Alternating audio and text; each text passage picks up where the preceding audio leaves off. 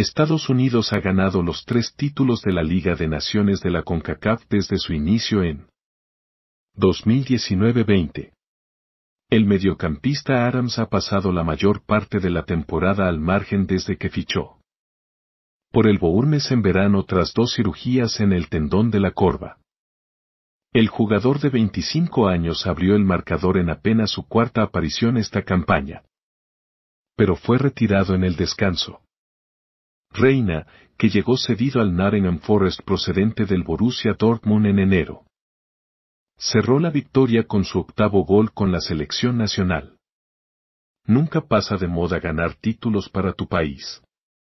Nunca daré ninguno por sentado, dijo la mediocampista reina. Estados Unidos ha ganado los tres títulos de la Liga de Naciones de la CONCACAF desde su inicio en 2019-20.